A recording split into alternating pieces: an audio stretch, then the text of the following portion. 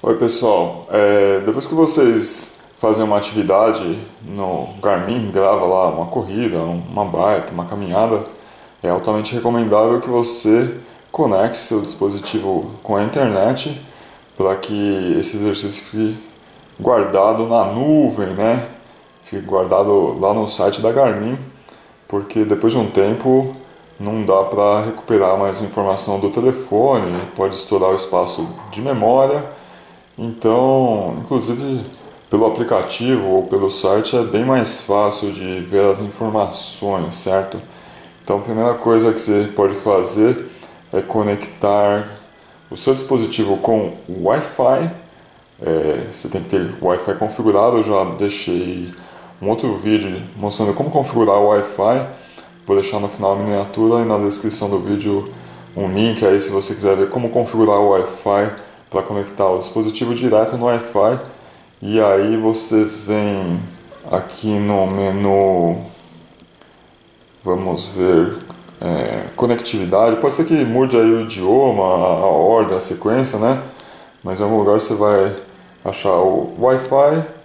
Eu deixo desligado para economizar bateria deixa ligado. Ele tem a opção de autopilot né? Quando o Wi-Fi está ligado e essa opção está ligada também autopilot ele já identifica que está conectado no Wi-Fi e já faz o upload, mas eu deixo desligado também para economizar a bateria. Então nesse caso tem que vir aqui e sincronizar. Aí ele está procurando o Wi-Fi, aí está transferindo e completou a transferência. E aí beleza, você pode voltar e desligar o Wi-Fi para economizar bateria.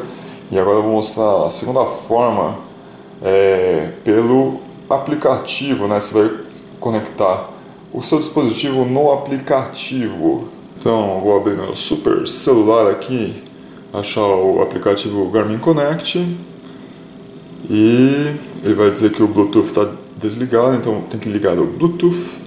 Aí ele está procurando. Aí no seu dispositivo você tem que ou parear o telefone ou fazer a sincronização, depende se já está pareado ou não. Aí ele achou aqui o Forerunner 955, que é que eu estou testando aqui. Aí ele vai dar um pin aqui, né? Não sei se posso mostrar. Ele pede para colocar um pin aqui, que aparece aqui, não sei se pode mostrar, mas tudo bem. Ah, vamos ver se pareou, aparentemente pareou. Vamos voltar aqui para o Garmin Connect, ele está pensando aqui. Aqui ele deu uma mensagem que está pareado. Bom, é, como eu estava com outro dispositivo que é o meu mesmo, eu estou testando outro, vou ter que vir aqui adicionar dispositivo. Ele está procurando. Aí ele achou aqui o 955, connect, permitir, conectando, papapá. Tem uma barra de progresso aqui. Ele deu um boot. ele deu um boot. É, eu tinha dado um boot no, no dispositivo. É, eu ia cortar essa parte, né? Mas de repente você vai ter o mesmo problema. Eu deixei, decidi manter aí essa parte, mas enfim. Tinha dado uma opção repetir, repetiu, ligou, emparelhou e agora tá tudo ok. Um próximo aqui. Próximo. Não. Ignorar ignorar. Caraca, não quero nada disso. Bom, tem várias opções. Bom, sincronizar. Está sincronizando. Sincronizou. Finalizar. Bom, depois de um tempão, né? E tá aqui uma, uma, Não é uma barra de progresso, é uma bola de progresso. Um círculo de progresso. Ele está é, sincronizando, pareando, atualizando Vou mostrar como é que faz do zero de novo, depois de ter passado toda essa configuração inicial, que talvez você precise fazer em algum momento, né? Mas eu vou falar como que você faz no dia a dia aí. Então bora refazer todo o processo. Primeira coisa é ativar a pareação, né? Ele vai conectar no seu telefone, no seu smartphone. Aí você abre lá o Garmin Connect, tem que estar com o Bluetooth ligado tá configurado aquelas partes que eu configurei agora há pouco.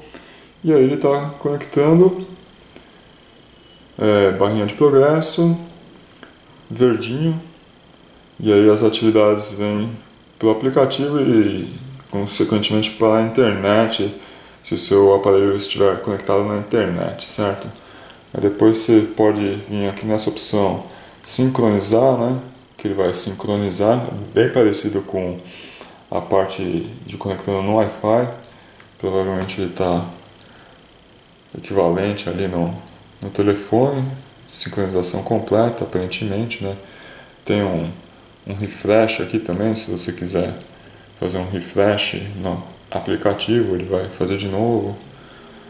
Deixa acabar porque não, não é bom interromper no, meio do processo, né? Verdinho.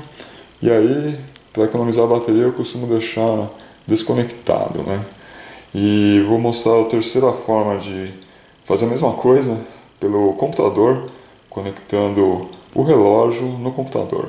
E a terceira forma de fazer essa transferência é conectando o relógio, o dispositivo com um cabo de dados no Garmin Express no computador. Aqui, oh, já acertei, né? Aqui a telinha do Garmin Express do meu computador, então conectar o cabo de dados, conectar no computador. É, ele vai ficar verdinho aqui em algum momento. Tá verdinho. Então eu clico aqui, ele está sincronizando, tá vendo? É, caso não sincronize, você pode clicar em sincronizar, que é este botãozinho aqui. Sincronizar, sincronizando e sincronização concluída. E é assim, aí já tem que obviamente ter uma conexão com a internet, então no primeiro exemplo foi conexão Wi-Fi, no segundo exemplo foi uma conexão pelo seu smartphone e esse terceiro exemplo pelo computador, mas tem tudo tudo tem que estar conectado na internet, obviamente, mas uma vez conectado é feita a transmissão, depois você pode consultar ou no próprio aplicativo ou pelo site. É, vou deixar no final miniaturas para você ver como adicionar aí o dispositivo no Garmin Express, configurar o Wi-Fi, enfim, tem melhor ver a playlist. Na playlist tem vários vídeos interessantes que podem te ajudar aí. Mas se você quiser deixar aí seus comentários, dúvidas, críticas, sugestões, elogios, opiniões, compartilhe sua experiência, dá um joinha, se inscreva no canal e acompanhe outros vídeos, compartilhe este vídeo com quem tem interesse. Tamo junto, um abraço, falou!